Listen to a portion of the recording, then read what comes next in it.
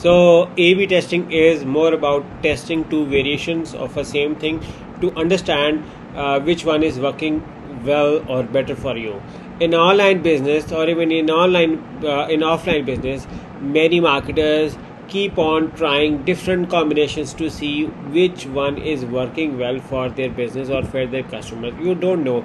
Something may be looking good for you but it is not actually looking good for your customers.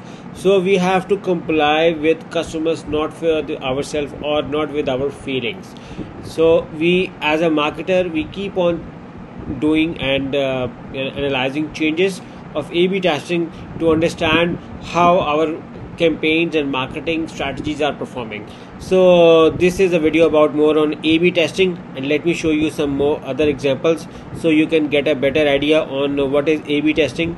So A/B testing can be done on element control variant test conversion. It's basically you can do various combinations for for instance for instance for instance you can see that you can see over here. You can see that the variation number a or the variation b. If you call this variation a and if you call this variation b. So uh, the only difference over in the variation a and b is the lower bullet points. Here it's written additional video marketing resources with bullet points. Here create video that convert.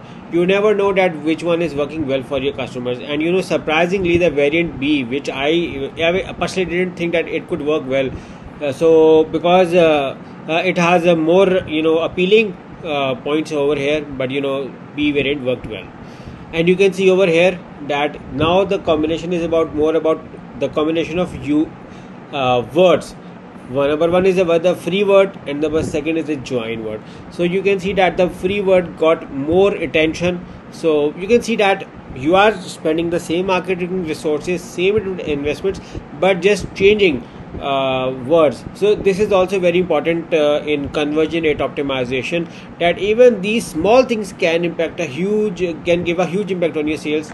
Even you can see now here the only difference is that the color is on get started now in a variant a it's a green color and in variant b it's a red color. So you can see that the color can alone cause a 21% difference in sales so you can see that the uh, this was more on how you can do A/B testing for conversion rate optimization uh, because I told you that conversion rate optimization is very important and uh, you can see that even these small things can play a huge role in optimizing the campaigns.